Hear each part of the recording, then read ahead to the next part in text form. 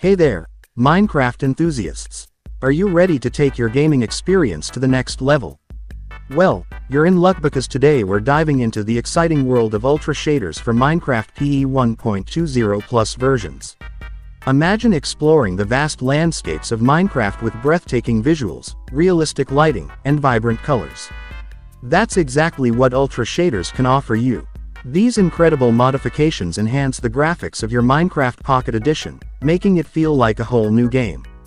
Before we begin let's see our today's sponsor. Today I would like to recommend to you the best sports application in India. It is the most worthwhile in India.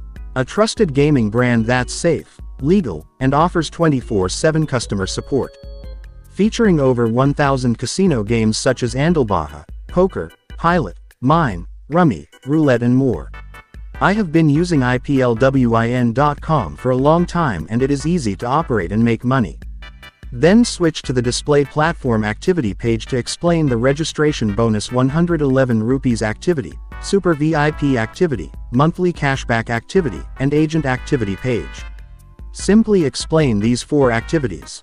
Join IPLWIN.com now for a chance to win great prizes. It's time to get started. So with Ultra Shaders, you can transform your Minecraft world into a stunning masterpiece.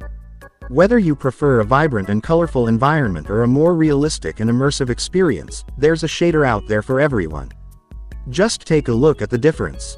The world comes alive with dynamic shadows, realistic water reflections, and mesmerizing sunsets. It's like stepping into a whole new dimension of Minecraft.